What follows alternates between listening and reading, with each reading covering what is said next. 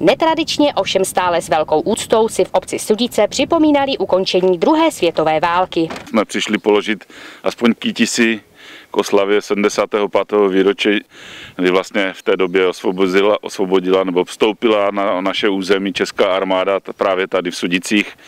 Jako důkaz této operace zde stojí tank na svém čestém místě, jakožto skutečná připomínka toho, aby se hrůzy války již nikdy neopakovaly. Z důvodu omezení pandemie se k památníku hlásajícímu, že právě zde v dubnu roku 1945 překročili tankisté sovětské armády hranice naší vlasti, nemohli dostavit občané, tak jak byli zvyklí po dlouhá léta.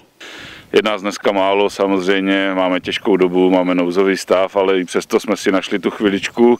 Přišli jsme zavzpomínat napadlé vojáky a poděkovat za osvobození obce, vlasti a ukončení vlastně druhé světové války. Poděkovat padlým přišel jménem všech starosta obce. Chtěl bych dneska poděkovat i všem, kteří si každý rok s námi toto výročí připomínali.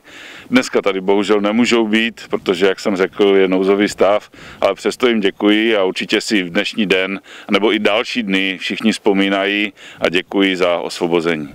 Ze Sudic Radana Doležilová.